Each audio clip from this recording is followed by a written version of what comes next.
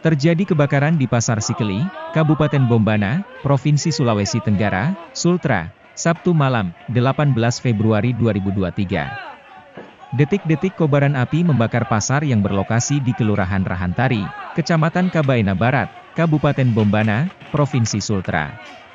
Selain kobaran api yang menyala-nyala, juga terdengar teriakan warga histeris. Saat itu terlihat kepulan asap hitam tebal.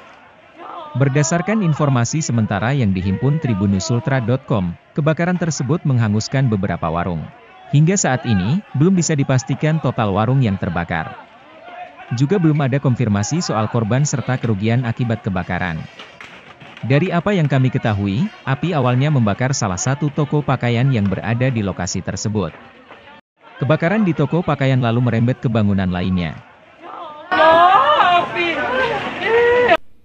Jangan lupa untuk subscribe, like, dan komen channel ini.